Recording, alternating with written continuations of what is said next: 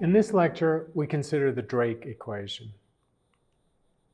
The Drake equation seeks to answer the profound question about our existence in the universe as sentient beings aware of the size of the universe and our place in it. Are we alone? So far, we've discussed many of the ingredients of astrobiology, the components that go together into this profound question. We've discussed the stars that are suitable for hosting planets and realized that planets exist around all stars, probably, as a result of the natural process of star formation. We've realized that most of the habitable real estate and most of the planets in the universe probably orbit dim, cool stars, smaller in mass than the Sun, and that they live for very long times. So it's entirely possible for life to have had a head start on the Earth and life to persist far longer than the Sun will live. We think life on Earth will be extinguished when the Sun dies. We know planets form around other stars, and we also know the ingredients for life are universal, found not just in our galaxy, but in all other galaxies. We know in a little detail how to uh, establish what a habitable zone is. We know that it's not as simple as the Goldilocks zone, a distance from a sun-like star where water can be liquid on the surface of a planet.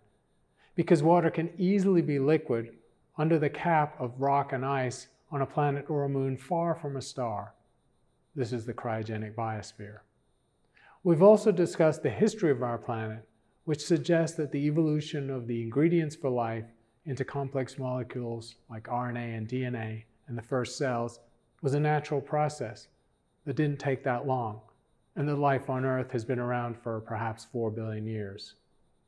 But how do we put all these pieces together to make any kind of a realistic estimate for whether or not there are other civilizations in our galaxy.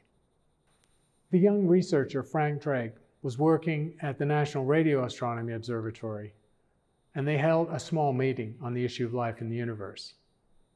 This postdoc, Frank Drake, went to the blackboard and he wrote, pretty much from his head, an equation that identified the factors that would be central in evaluating the probability of extraterrestrial intelligent civilizations capable of radio communication in the Milky Way galaxies. And it has a form of a product of a number of factors. On the left-hand side is n, essentially the number of pen pals we have in the galaxy at any given time. The product of factors includes one that's purely astronomical. It's the rate at which stars like the Sun are forming with their attendant planets per year. It then includes the fraction of those stars that have planets. It then includes the number of planets per solar system that are Earth-like. It's then multiplied by the fraction of those Earth-like planets on which life actually evolves, which is then multiplied by the fraction of those planets on which the life eventually becomes intelligent, which is then multiplied by the fraction of those planets on which the life eventually develops the means to communicate through space.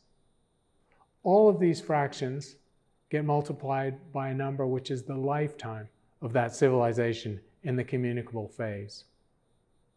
Now, it's a truism in mathematics that if you multiply a set of factors together and each of them has an uncertainty, the uncertainty of the product is limited by the largest uncertainty of any of the factors.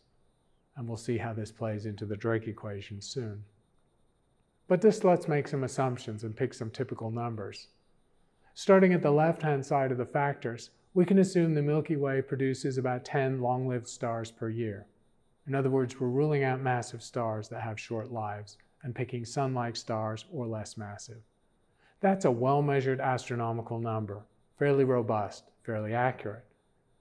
Let's assume that 80% of those stars have planets, so the fraction of planets is 0.8. This is now becoming a pretty well-determined number from the Kepler spacecraft. In round numbers, every sun-like star has at least one planet. So this number is unlikely to change, and that first fraction is high. Let's further assume that half of these systems will have planets orbiting in the habitable zone, at least one. And so n sub e becomes a half. This is also a number that's becoming better determined as our bag of exoplanets exceeds 4,000 and soon we'll know this number pretty well. Then it becomes uncertain. If we assume that life will always develop in the habitable zone and that life will always evolve intelligence, then 100% of habitable planets will evolve intelligent life, and the next two factors are 1. Recognize this is a very strong assumption. It doesn't have to be the case, because microbial biology obviously stayed simple and was not even multicellular for a couple of billion years on the Earth. If that process of going from single cell to multicell had taken five or six times longer, the sun would have died before we even got multicellular life form, when life was no larger than a pinhead, and so intelligent life would not be possible. So we have to be aware that these fractions could be much lower than 1. Then, just to pick a number, we make a 50-50 assumption on the chance that intelligent life will eventually develop interstellar communication capability. Again, we have no logical basis for making this estimate.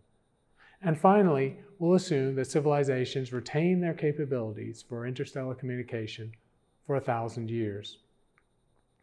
Since n is a product of a series of factors that includes L, n is proportional to L. In other words, the number of pen pals in the galaxy scales linearly with the lifetime or average lifetime of those civilizations. What can we say about L? Well, not much. We can say that at present, in terms of our technology, L is about 100.